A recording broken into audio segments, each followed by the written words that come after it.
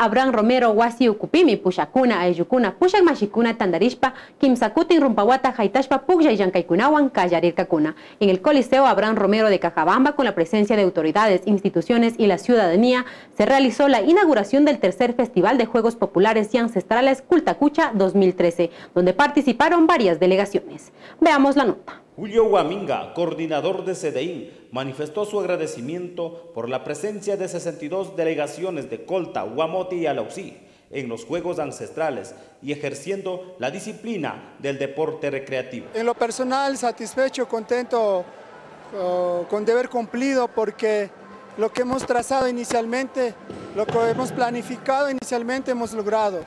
La presencia de las 62 delegaciones, de los cuales 42 son de Colta y el resto de Huamote Alausí. Nos complace que estamos trabajando por el deporte del pueblo indígena. Estamos recuperando los juegos ancestrales, así también estamos eh, ejerciendo la disciplina del deporte recreativo.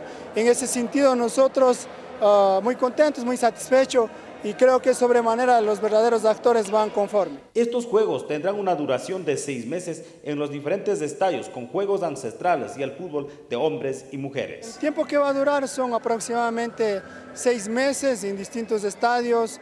Vamos a practicar, vamos a recuperar los juegos ancestrales como la rueda andina, el trompo, la chanta, la vuelta a la laguna, entre otros. Así también el, el fútbol, que es una disciplina inserta en toda la ciudadanía en su general y el fulbito de mujeres también. Alba Cepeda, la nueva Pugliaypañusta de Cultacucha, manifestó que es importante rescatar nuestra identidad cultural de los pueblos indígenas. Dentro de este trabajo laboral para mí sería es rescatar la, cult la cultura, el quichua, ser pueblos indígenas, rescatar nuestra cultura, nuestro idioma que es el quichua, ser orgullosos de dónde somos, de dónde venimos y de dónde seremos. Informa Inti Noticias.